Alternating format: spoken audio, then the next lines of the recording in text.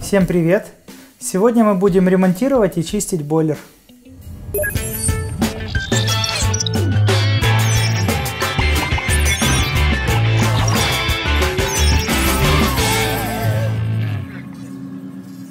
Значит, ремонтировать мы будем бойлер э, горения с сухими тенами, в общем-то, а ремонтировать мы будем, скажем так, жалобу на то, что он течет.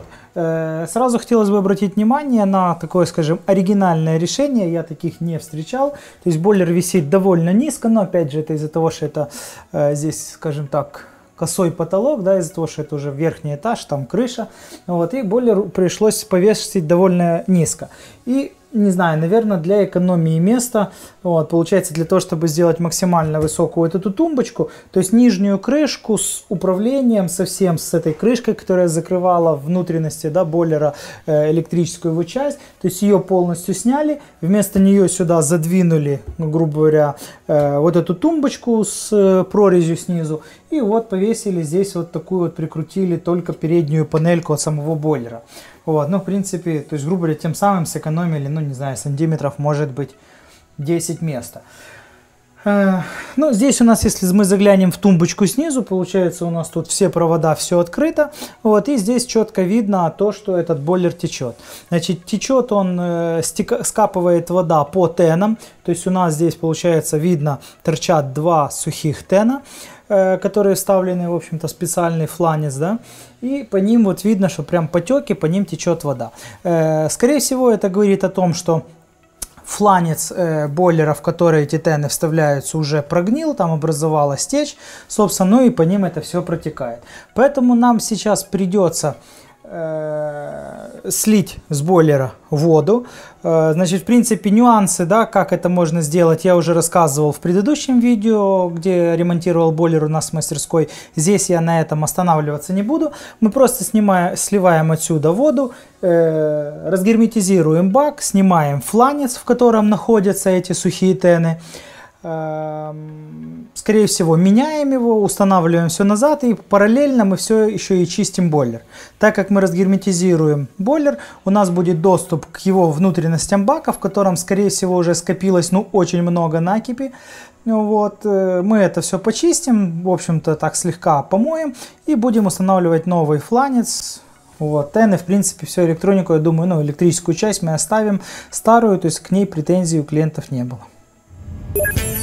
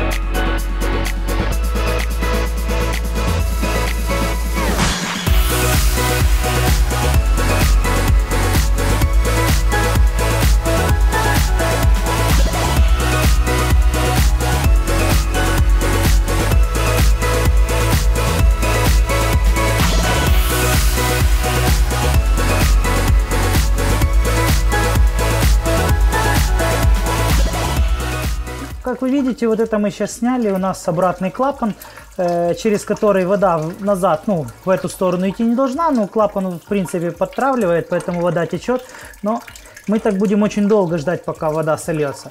Здесь у нас внизу вот находится слив для стиральной машины, да, куда включен вот шланг от стиралки слив. Вот, и мы конец шланга в него опустим, и будет у нас сливаться вода туда, для того, чтобы, в общем-то, не играться с этим ведром туда-сюда.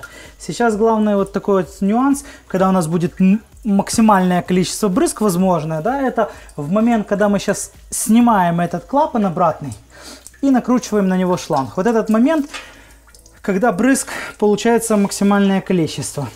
Значит, можем в этот момент использовать тряпку и делать это все под тряпкой. Таким образом мы брызги эти как бы блокируем, и они по тряпке стекают, ну, предположим, в ведро. Вот. Ну, сейчас будем смотреть, как это лучше.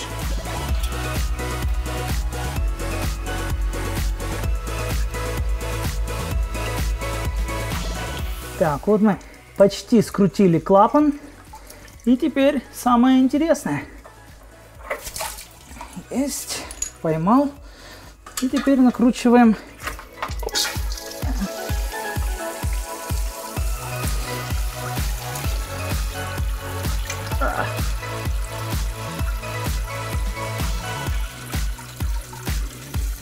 Немного забрызгались, но шланг мы подключили. Вот. Вот у нас стекает уже вода. Теперь мы просто этот конец опускаем в канализацию.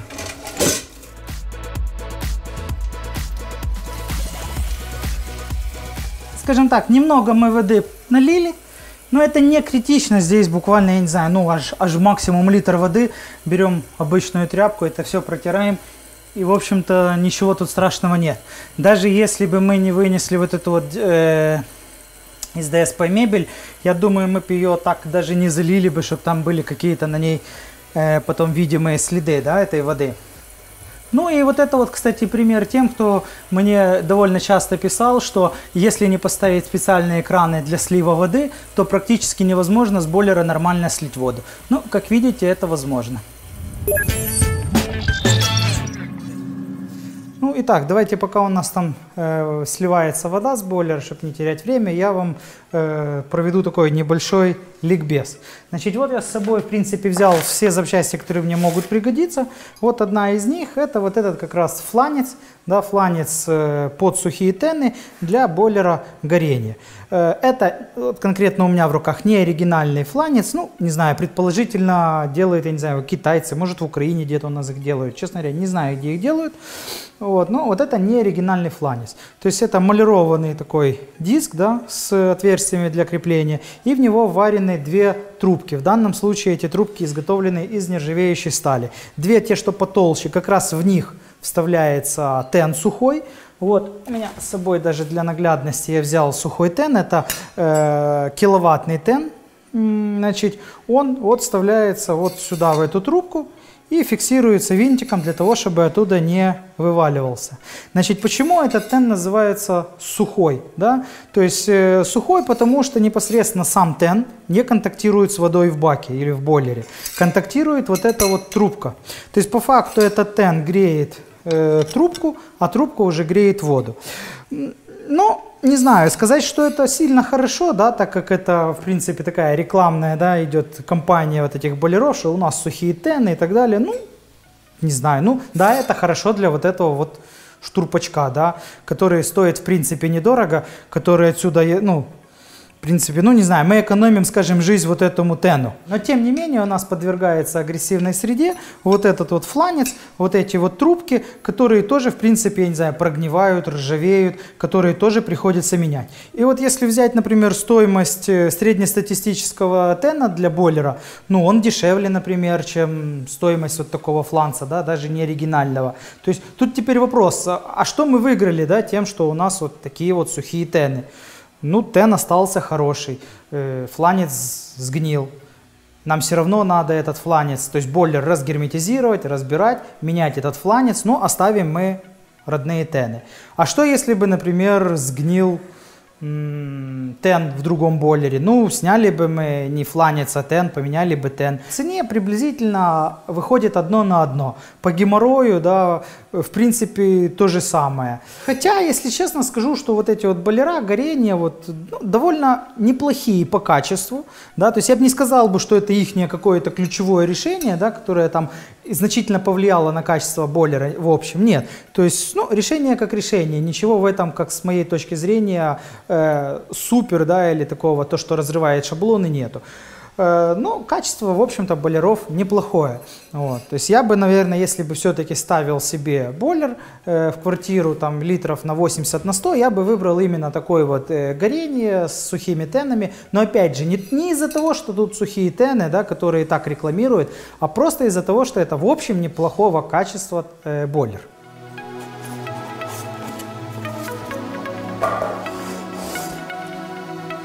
Вот, например, оригинальный гореневский фланец. То есть он такой же по форме, да, то есть в принципе более массивный металл, вот, он эмалированный. Точно так же имеет две трубки под тен, трубку для термостата, вот, он немного помассивнее, ну и честно скажу, подороже. И вот даже сейчас вот я стою и думаю, какой вот выбрать, да, какой клиенту поставить. Потому что сейчас клиент уехал за границу сегодня, вот, его здесь нет, и он мне сказал, говорит, принимай решение сам, да, что лучше ставить, то есть дешевле, дороже, оригинальное, не оригинальное. И вот я сейчас, в общем-то, думаю, а что же лучше?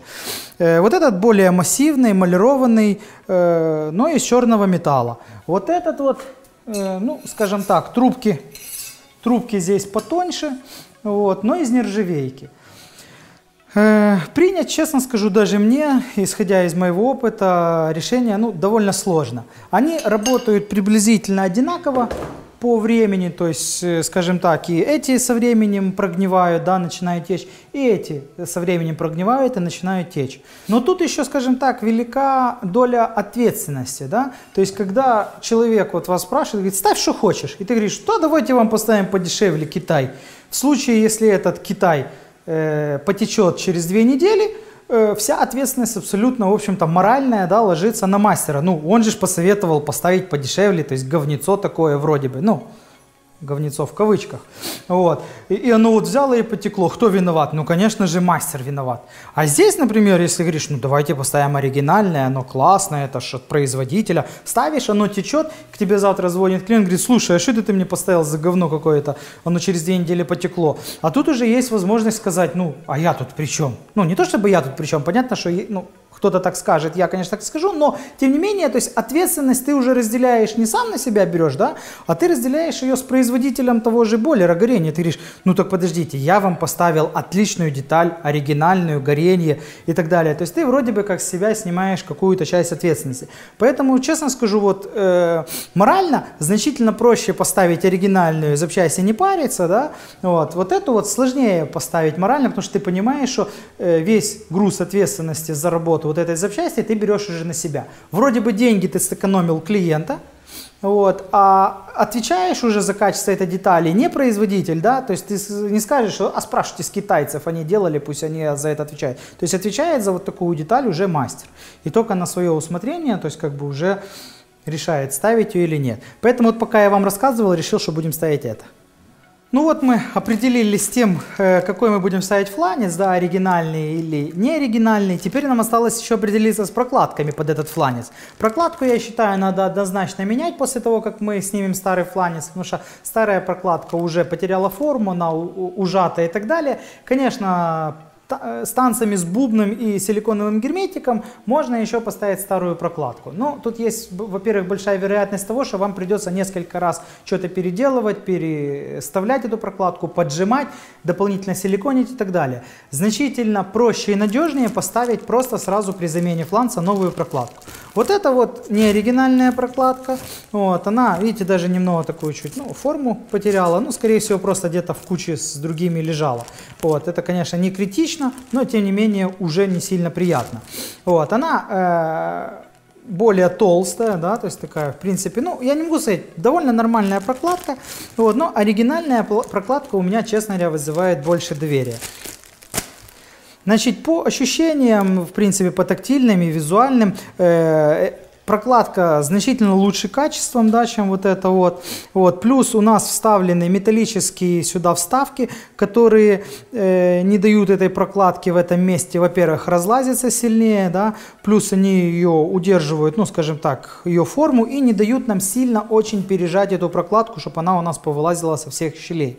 Вот, то есть вот если даже так сравнить, то вот эта неоригинальная прокладка, она потолще. Я, в принципе, отдаю предпочтение оригинальной прокладке тоже, да, и будем мы э, устанавливать вот эту оригинальную прокладку, а не вот эту вот, скажем так, дешевую. Хотя, если честно, опять же, данная прокладка имеет место быть, да, она, то есть, э, если вам хочется позаморачиваться, да, когда вы, например, меняете дома, вы можете себе поставить прокладку неоригинальную, зажать фланец, набрать в бойлер воду, посмотреть, будет ли там где-то что-то подкапывать. Если будет подкапывать, опять спустить с бойлера воду, опять, короче говоря, заморочиться, все это сделать, поиграться. И, в принципе, эта прокладка будет работать не хуже, чем вот эта. Но, э, так как я нахожусь у клиентов дома, у меня нет времени вот на эти вот игры, туда-сюда наливать, сливать воду, мне значительно проще и, в общем-то, надежнее поставить вот эту прокладку, так как разница в цене у них есть, есть, но то, что я тут проведу на час-два больше времени, клиенту обойдется дороже, чем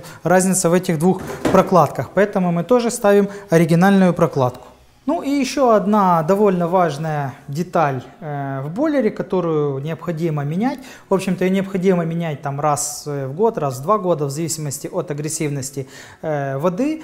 И в зависимости от того, насколько часто вы, в общем-то, этим бойлерами пользуетесь, то есть вот этот вот э, анод необходимо менять. Что это такое? По факту это кусок магниевого сплава. Не имеет значения его форма, да, то есть высокий, низкий, то есть в данном случае нас интересует э, определенный объем этого магниевого анода, да, то есть это анод изготовлен из магниевого сплава. Э, что такое магний? Магний это активный металл, который э, довольно активнее и проще вступает в всякие реакции да, с агрессивной средой. Тем самым у нас вот этот вот э, кусок магния будет вступать в реакцию с агрессивной средой значительно э, легче и быстрее, чем вступает э, в реакцию сталь, из которой изготовлен бак. И тем самым у нас вместо того, чтобы гнил э, бак бойлера, да, тены какие-то, э, у нас будет гнить вот этот вот кусок магния. Когда этот магний сгнивает, у нас начинает, в общем-то, тогда уже гнить бойлер. Э, поэтому вот этот анод мы обязательно установим новый в бак, когда будем, в общем-то, этот бак чистить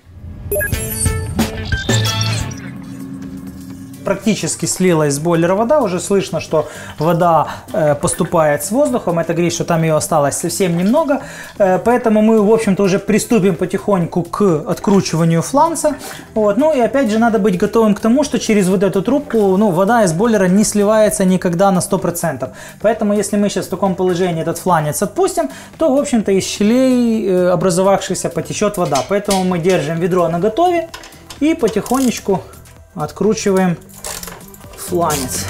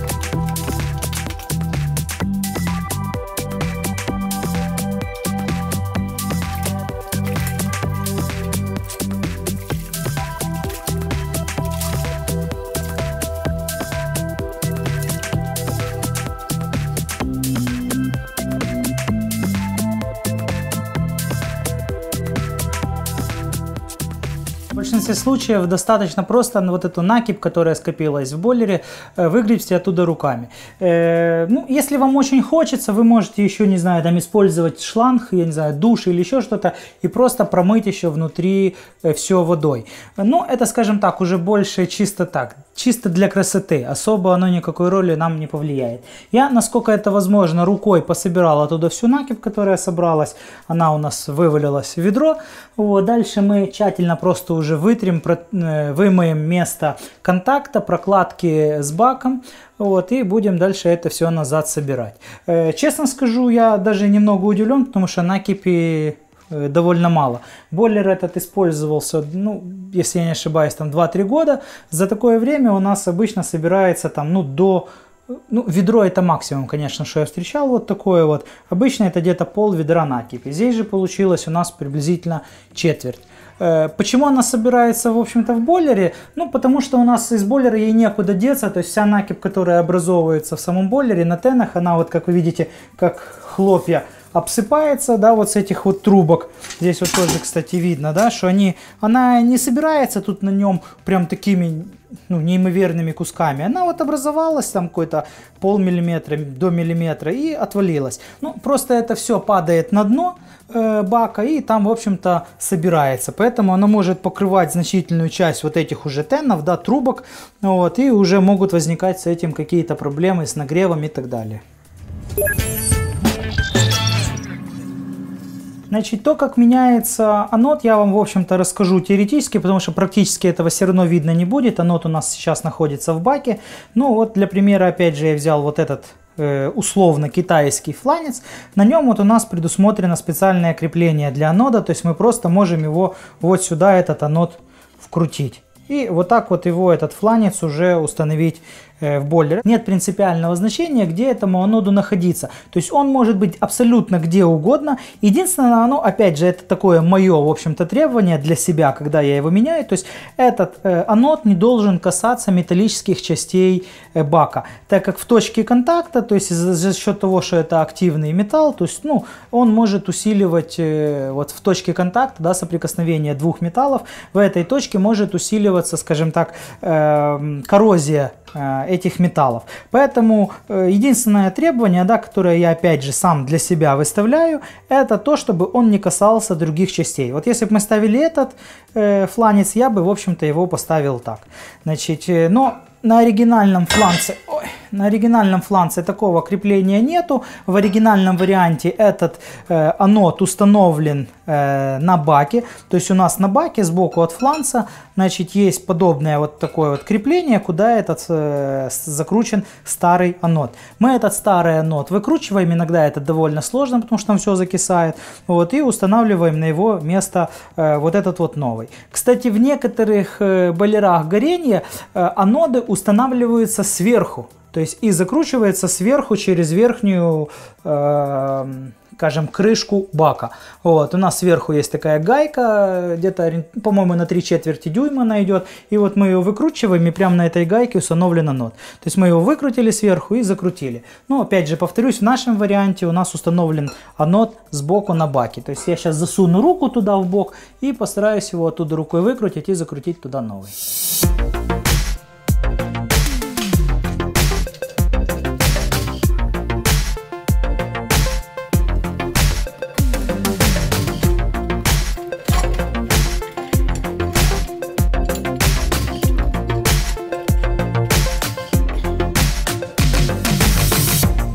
Что ж, вот я, в общем-то, уже наживил фланец, теперь его э, необходимо потихонечку закрутить равномерно, да, по всем гайкам. То есть э, здесь у нас получается 6 э, гаек крепления, и мы крутим, в общем-то, треугольником. Одна, потом напротив, потом, грубо говоря, по диагонали, потом напротив, потом опять по диагонали. И вот так вот мы постоянно по чуть-чуть по кругу подтягиваем, для того, чтобы фланец к баку у нас прижимался равномерно. А не затягиваем сначала одну сторону, а потом как-то дотягиваем остальные, понимаете? Вот. Помимо этого, э, я забыл сразу сказать и показать, но я думаю, вы увидите, у нас... Э, Получается, вот это не шпильки, которые закручены куда-то в бак, да, на которые мы накручиваем гайки, это болты э, со специальными такими квадратными креплениями, они вставлены в квадратную прорезь и сдвинуты в бок, да, то есть в бок она сдвигается и там уже держится. Так вот, вам надо контролировать, чтобы когда вы уже по факту установите фланец, постараться туда под него заглянуть и посмотреть, где находится болт. Потому что если он из прорези, этот болт, ну, может сдвинуться, все эти болты могут сдвинуться э, как раз вот на эту квадратную прорезь, и э, когда вы будете их затягивать, эти у вас болты просто оттуда будут с этого бака вытаскиваться. Либо того хуже, они у вас вытащатся не сразу, а потом, когда в баке создастся давление, их просто с этими болтами э, этот фланец оттуда может выдавить. Вот здесь вот надо быть внимательным.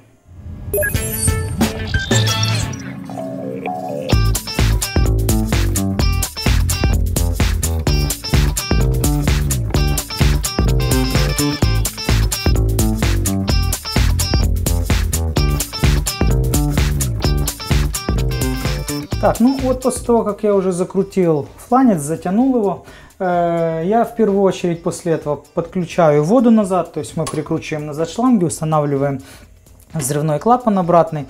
Э, скорее всего, я его даже заменю, поставлю сюда новый. И после этого мы уже открываем воду, чтобы э, бойлер набирался воды.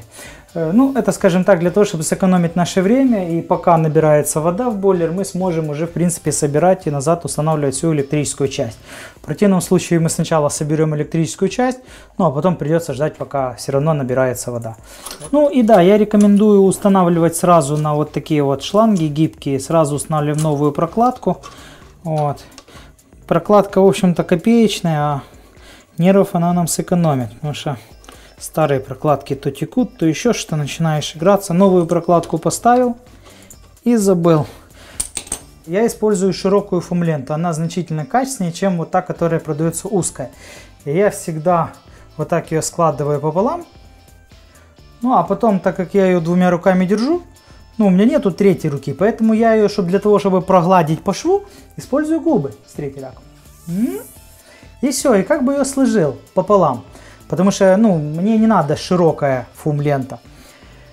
Но меня, конечно, э, особо э, крупные, да, такие хорошие специалисты, сантехники с опытом всегда с меня смеются, что я облизываю фумку. Так вот, я специально для вас рассказываю. Фумку я не облизываю, я ее просто губами складываю по шву. Вот. А для чего узкая? Ну, потому что мне э, не надо вот на такую ширину наматывать фум-ленту по всей ширине, чтобы она э, накрутилась на 10 мм, а там еще потом 10 мм торчала, да, белая вот эта вот фумка. Вот. Мне нужно ее намотать довольно на узкий участок. Вот. И опять же повторюсь, можно было бы, конечно, использовать узкую фумку, которая продается, а не широкую, но она мне не нравится по качеству. Поэтому я делаю вот так вот.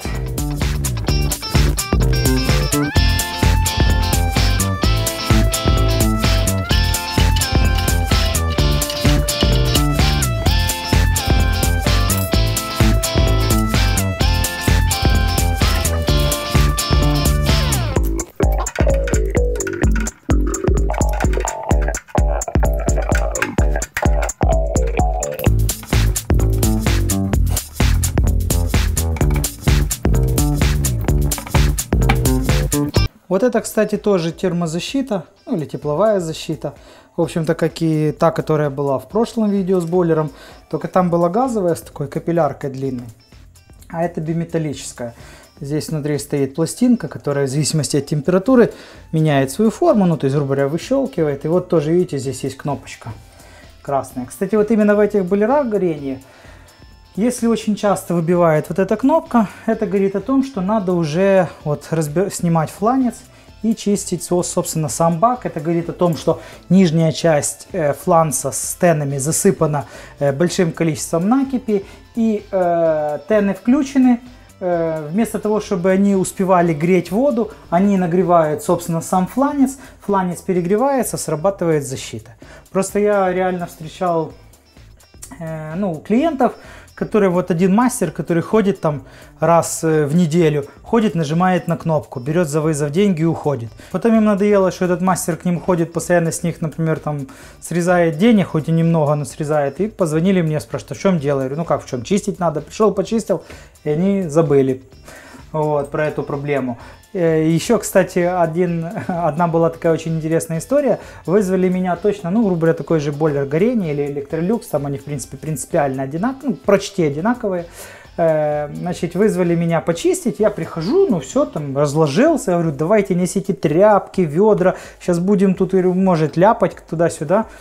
Она мне, женщина спрашивает, говорит, как, зачем? Говорит, это же, это же, тут же сухие тены стоят. Я говорю, ну да, и что? То, говорю, все равно же надо разгерметизировать бойлер, снять фланец для того, чтобы этот ну, накип оттуда снять. Говорит, нет, вы ничего не понимаете, вам не надо ничего снимать, ничего разгерметизировать. Тут же вся фишка в том, что э, тены-то сухие. К нам, говорит, мастер перед этим постоянно приходил, говорит, так вот он приходит, крышку снимает, винтик открутил, сухой тен вытащил, говорит, металлической щеткой его почистил вот так со всех сторон, назад засунул, винтик закрутил, и все, и вот это вся чистка. Я говорю, ага, то я говорю, вас сейчас, значит, удивлю приятно. И сейчас, говорю, вы увидите, что такое настоящая чистка бойлера. Вот, ну, после этого, видимо, она, наверное, тому мастеру больше не звонила. Что ж я еще могу сказать, что э, не зря я захватил с собой еще и новые тены, так как, честно говоря, изначально планировал э, поставить назад в новый фланец старые тены, вот эти, но мне их не удается оттуда вытащить. Они настолько здесь внутри закисли, ну, то есть вода текла по тенам, она, грубо говоря, опять же превращалась в накипь, оно там все закоксовалось внутри, вытащить у меня их не получается, да, ну, малой кровью. Кто-то, возможно, меня упрекнет и скажет, блин, надо было ковырять оттуда и все остальное. Но э, дело в том, что если мы их будем оттуда вытаскивать с очень большим усилием, э, есть большая вероятность, что мы их можем, соответственно, э, деформировать, тем самым повредить.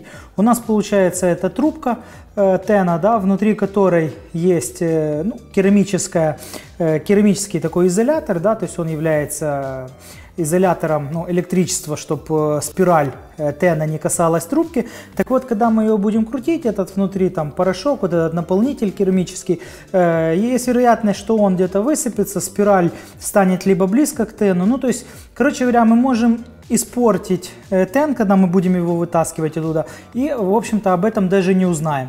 Потом у клиента будут проблемы, его там будет бить током, либо еще какие-то могут быть проблемы. Поэтому, э, если мы оттуда не можем ну, относительно просто вытащить тен, да, без каких-либо его там деформаций, то я считаю, что лучше его уже там и оставить и в целях, э, скажем так, безопасности поставить все-таки новые тены. Ну и тем более, все-таки, как я уже сказал, именно у этих тенов цена не такая уж и большая, да, чтобы не, скажем так, не пожертвовать.